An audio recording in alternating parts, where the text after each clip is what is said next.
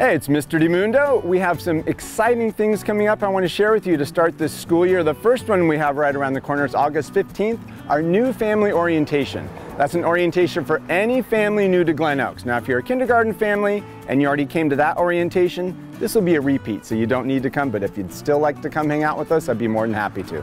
This event's more for families that are brand new to Glenoaks, period. New fourth grade family transferring from another school, stop on by on the 15th.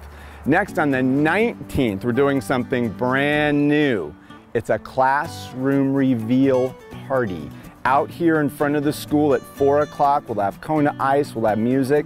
It's going to be a festival, but more importantly, you're going to see the list of students and the classrooms to which they're assigned.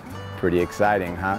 Hope to see you out there for that. And then the next big event is, of course, August 21st, coming back to school. Looking forward to seeing y'all.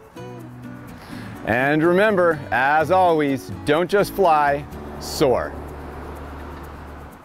Thank you for watching. Don't forget to click subscribe.